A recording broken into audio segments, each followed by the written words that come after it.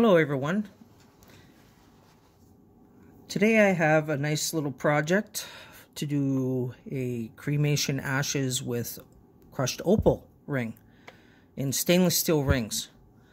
Um, I've already started this project a little bit and just to show you this is what it looks like once it's done. I've already created a ring for myself and this has got a, a nice blue opal in it. You can see. So this is how the ring looks. So really nice flashy in it with my mother's ashes which uh, I am working with today.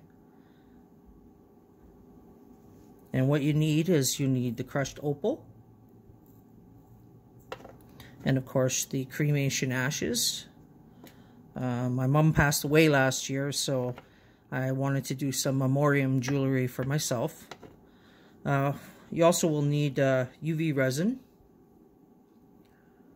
of your choice. You can get this on Amazon. Um, over here, off to the side here, I have a UV uh, uh, lamp.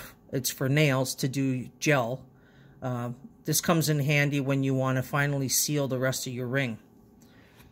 Uh, also, I today I'm using finger cots. You could use full gloves, but today the finger cots are much easier to work with. Um, already I have put down a layer of this ink. It's a white, uh, white acrylic pen. And I put down some white un underneath here so I can uh, kind of bring out the opal and the ashes better with the white background. Sometimes you can use black as well. Also today I will not be doing the sanding for you. I'm just doing an introductory today on how to insert the opal and the ashes. So here we go. I'm going to put some more ashes down. I've already started it a little bit to kind of speed up the process, but uh, I've already shown you the finished product of what it looks like. So today is just to show you how to do it.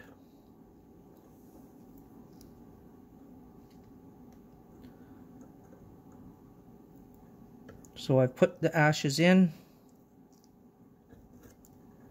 And these are stainless steel rings that I'm working with today. And I will put the links of everything I used into the description for this video.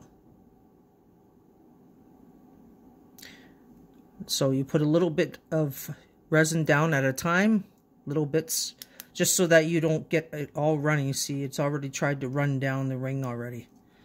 So it's uh, you can only put a little bit at a time. The UV the UV resin is kind of a little bit runny. It's not as thick as this viscosity is very thin on this stuff. I found that this kind of resin actually is a better hard, hardening resin. It's not as sticky when it's done curing. And I've tried a few other resins and uh, I like this one the best. So I will put the link in for that. Put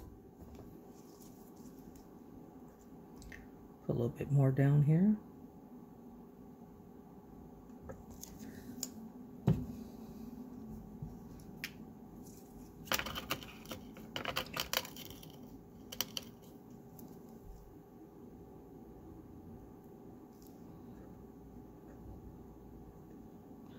And you want to make sure you pack in your stuff into the gaps of the ring. Now I might I might have to sand this down a little bit just to uh, keep it solid. I use uh, dry wet sandpaper and I use water sand. I do uh, wet sanding so that the dust doesn't create so much.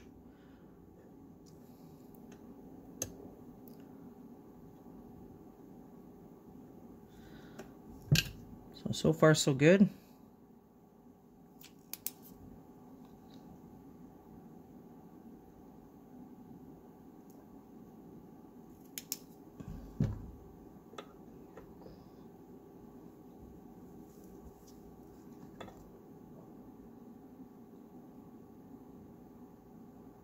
Yeah, so this is how this is how it's done. Um, I'm gonna finish this ring and I'm gonna end this video. But I just wanted to show you today how it can be done without using all the fancy tools and stuff. And if you just have like basic tools to use for this, like you could use small little, like little, these little spoons.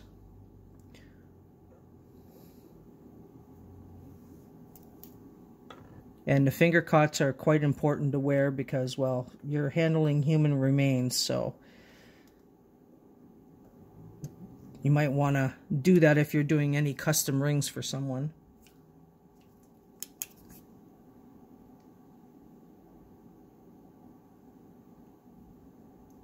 And it's important too, if you want to start sanding down your stuff, if you have too much buildup and you want to sand it down, be sure to wear a little dust particle mask so that you don't in inhale any of the dust. This is why also I use the, the, the wet sanding because using the water is much better than than the dry sanding in the air and then you're not inhaling it. So here I'm almost finished this ring.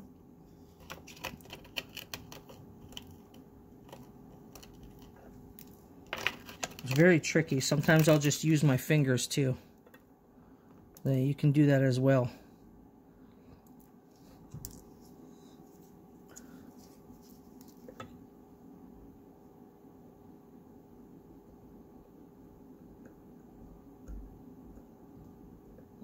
And you push that down in there and you can see the really awesome looking flash on this opal. Really nice. It's beautiful once it's done, like, and you see this out in the sunlight, and the opal is just so amazing looking. Beautiful flash to it.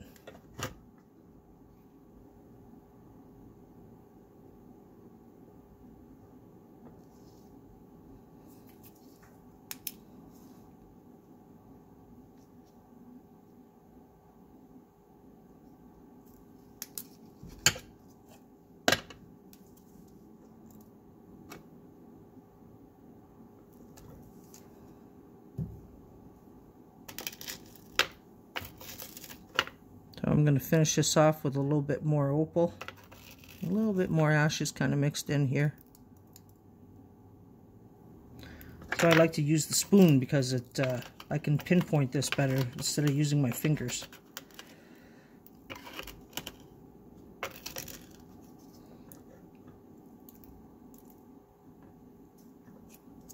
Okay. Just tap that down, make it nice and flat.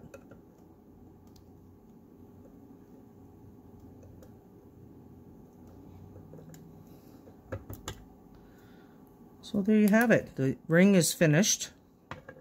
And now I'm probably going to go back and sand it down, which I'm not going to do a video of. But, uh, yeah, so the ring is completed. And all I got to do is just sand it down. Well, this is a chain stay that I'm using on here to make chain bracelets. But uh, there you go. And there's a beautiful opal. And the ashes.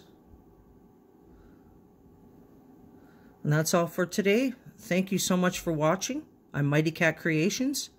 And I'll make sure that I'll create some more really interesting and cool projects for you. Have a great day and happy Thanksgiving.